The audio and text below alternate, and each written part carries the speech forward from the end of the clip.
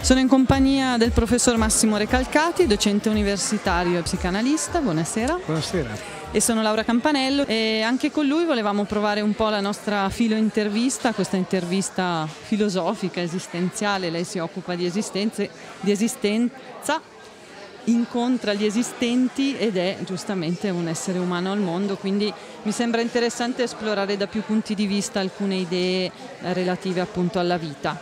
Intanto le chiedo di scegliere tra queste due carte una prima domanda.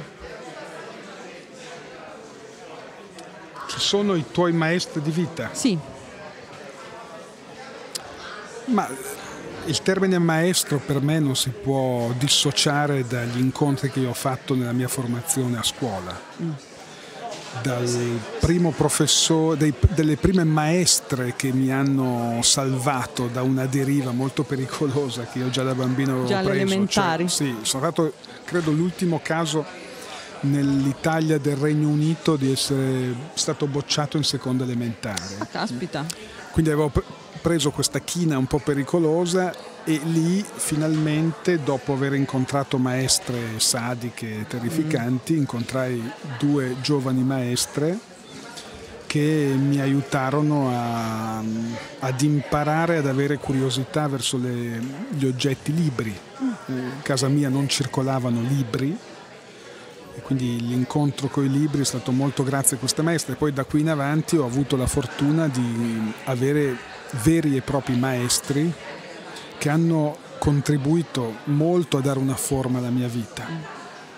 Io penso che la, nostra, la, forma della nostra vita dipenda molto dagli incontri che abbiamo fatto. Assolutamente. E per me gli incontri decisivi sono o gli incontri con i maestri o gli incontri d'amore. E sono questi due tipi di incontri che hanno generato una formazione, cioè hanno dato forma ad una vita. Certo, e lei ha la sensazione per le persone che incontra anche nella stanza d'analisi o nei suoi contesti che le persone siano alla ricerca di maestri? C'è una mancanza o comunque in qualche modo esperienze e persone rimangono maestri per di più? Allora, intanto gli incontri possono essere buoni o cattivi. Certo. Eh? L'incontro cattivo è un incontro che ha l'effetto di chiudere il mondo, di restringere l'orizzonte del mondo, mentre l'incontro buono ha l'effetto contrario di aprire il mondo, non solo di dimostrare che esistono molti mondi, molte lingue, molte, molte possibilità. In questo senso l'incontro vero è sempre un incontro d'amore, perché mm. quando facciamo l'incontro d'amore noi facciamo l'incontro con una moltiplicazione dei mondi. E in questo senso un maestro è veramente innanzitutto colui che ci dice guarda che il tuo mondo non è l'unica forma del mondo, mm.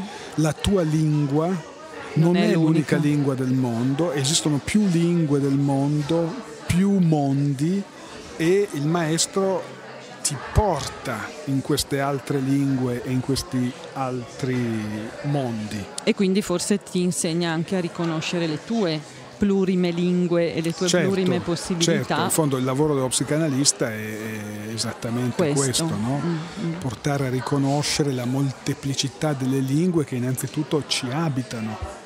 Certo. La molteplicità dei mondi che ci abitano per renderci più aperti all'incontro appunto delle altre lingue, degli altri mondi. Una domanda in parte collegata a questa, chiamiamola carta. Eh, lei crede che lo psicanalista diventi a qualche titolo maestro? C'è un pericolo in questo?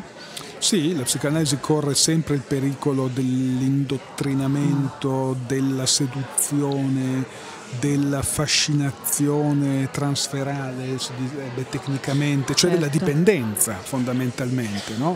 Però eh, non c'è psicoanalisi che non corra questo rischio, ma eh, fare esperienza della dipendenza nell'analisi significa anche poter poi fare autentica esperienza dell'indipendenza.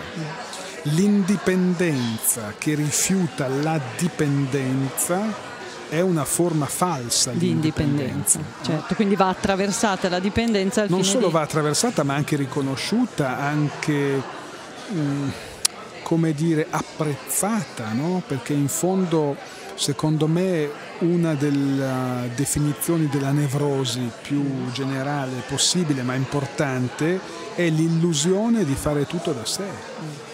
Eh, l'illusione di fare tutto da sé è veramente uno dei grandi miti del nostro tempo e eh, è un mito che danneggia la soggettività perché non c'è soggetto che non, sia, che non, sia, in rapporto ad altro, che non sia in relazione all'altro. Certo. Noi viviamo nel tempo come babelico, no? cioè di farsi un nome da sé.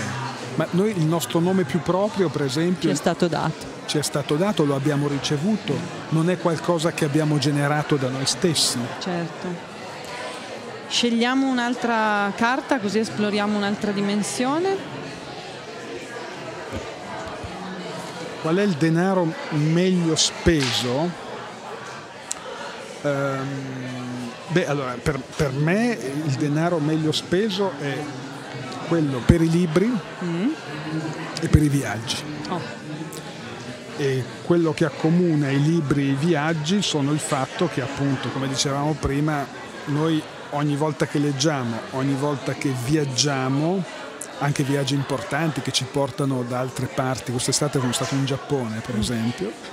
Quindi proprio un altrove. Sì, ci mm. fanno veramente fare esperienza dell'altrove e quindi di, come dire, sono in controtendenza rispetto alla nostra tendenza che è quella della della chiusura, no? della, um, di solidificare la nostra identità. Certo. Eh, quindi via, direi, aggiungerei anche cucina. Mm, ama mangiare, perché... ama il cibo, ma ama anche cucinare? No. No, ama mangiare. Sì, ama mangiare, amo molto il vino. Eh, ma per me, per esempio, aggiungo la cucina perché il libro, il viaggio e la cucina sono tre forme di mm, esperienza eh, euristica, certo. di ricerca. No? Eh, e anche fonti di piacere. E anche fonti di piacere, non c'è mm. dubbio. Quindi la dimensione del piacere comunque... Un piacere come... sensibile, cioè del corpo, ma anche, mm, ma anche intellettuale, certo. mentale. No? Certo. E se lei, anticipo questa domanda così non la tedio con le carte, eh, dovesse provare a dare una definizione di felicità? La felicità è amare quello che si ha, io penso, cioè non è cercare quello che non si ha, ma è ehm, pensare che ogni giorno, ogni mio giorno, che io voglio che ogni mio giorno sia lo stesso di questo giorno quindi un dire sì al destino, un no, po' no, al, allo stesso. Addirittura. Cioè, mm. come dire, in effetti, se io ogni giorno mi piace per quello che è e vorrei ripetere questo giorno, come dire, la formula della felicità è poter dire ancora come adesso. Mm. Quando uno dice ancora come adesso, beh, è beato. Caspita, però è un punto d'arrivo non semplicissimo. Beh, ma io l'ho trovato in persone molto umili, mio padre per esempio, mm. che questo. è un floricoltore, persona umile che parla in modo sgrammaticato l'italiano, e, però il suo rapporto con i fiori, con la terra, con eh, il lavoro, io lo vedevo che ogni mattina si svegliava alle 5, andava a lavorare con la stessa forza, con lo stesso entusiasmo, no? fare quella stessa cosa che non è mai poi la stessa cosa, certo. perché è veramente nuova mentre noi viviamo in un tempo in cui che ci suggerisce che il nuovo sia altrove rispetto a quello che facciamo. Mm, mm, mm. È vero. E, e quindi questa ricerca smaniosa sempre di del, novità o di eccezionalità. Esatto, e poi la novità che noi cerchiamo al di là di quello che noi facciamo e siamo si rivela sempre la stessa insoddisfacente, no? certo. si rivela sempre in modo uguale insoddisfacente. Il vero nuovo è sempre, secondo me, nella, in una piega dello stesso, è come quando andiamo a bere il cappuccino, no? Vabbè, mm-hmm. gli esseri umani si distinguono, diciamo, tra chi ama il cappuccino chi ama il caffè. Lei ama il cappuccino. Io amo il cappuccino, sono quelli del cappuccino, ma ogni mattina il cappuccino è sempre quello, poi io vado sempre nello stesso posto, ma ogni volta è nuovo. Miracolo, eh? È il miracolo della fedeltà. quando c'è per esempio fedeltà nell'amore. Certo. È sempre lei, sempre la stessa, di cui conosco perfettamente la geografia del corpo, i sentimenti, eh, la voce, eh, però questa che è sempre la stessa, nell'amore si rivela sempre nuova. Mm. Quindi un gioco però, un gioco, in realtà un'attitudine, un'attenzione a come noi guardiamo anche forse le cose. Beh, questo è, è la beatitudine. Certo. Per Sant'Agostino eh, amare quello che si ha è la beatitudine. Certo. Bene, intanto sono contenta che è emerso anche suo padre, forse anche lui come maestro, nella sua semplicità e nella sua capacità e nel ringraziarla per questa intervista le chiedo anche alla luce di quello che ci ha regalato e che ci ha raccontato che augurio farebbe alle persone per poter essere un po' più felici, un po' più serene, un po' più beate. Beh, intanto faccio un augurio al nostro paese di ritrovare un clima, un clima civile di confronto, di rapporto emancipato da dall'aggressività, dall'invidia, dal rancore, dalla violenza che mi pare stiano, e anche dalla disperazione dalla che ne disperazione deriva che stanno veramente ingolfando e portando, portando alla deriva il nostro, il nostro paese. Intanto questo. E poi l'augurio che faccio è che ciascuno possa appunto essere felice di quello che ha Grazie, mi sembra un augurio molto bello sia quello per il Paese di cui abbiamo davvero bisogno, ma anche questo individuale di accorgerci di ciò che abbiamo e esserne felici, perché giustamente forse davvero questa è una strada. Ringrazio moltissimo Massimo Recalcati e la Laura Campanella, un saluto.